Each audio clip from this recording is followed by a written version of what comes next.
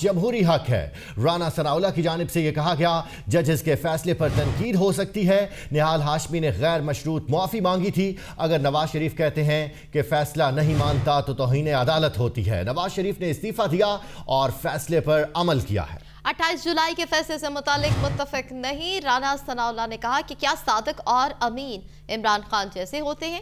کیا صادق امین یہی ہے کہ کسی کے تیس سال سے بستے گھر کو اچار دے آپ کو اہم خبر سے آگاہ کر رہے ہیں۔ رانا ثناء نے رد عمل دیا۔ انہوں نے کہا کہ اٹھائیس جولائی کے فیصلے سے متفق نہیں۔ عدالتی فیصلوں پر گفتگو اور تنقید کرنا آئینی اور جمہوری حق ہے۔ ججز کے فیصلے پر تنقید ہو سکتی ہے۔ وزیر قانون پنجاب رانا ثناء نے لاہور میں گفتگو کرتے ہوئے کہا کہ نحال ہاشمی نے غیر مشروط معافی مانگی تھی۔ اگر نواز شریف کہتے ہیں کہ فیصلہ نہیں مانتا تو توہین عدالت ہوتی ہے۔ نواز شریف نے استعفیٰ دیا اور فیصلے پر عمل کیا ہے۔ اٹھائیس جولائی کے فیصلے سے متفق نہیں، کیا صادق اور امین عمران خان جیسے ہوتے ہیں؟ کیا صادق امین یہی ہے کہ کسی کے تیس سال سے بستے گھر کو اجاڑ دیا جائے؟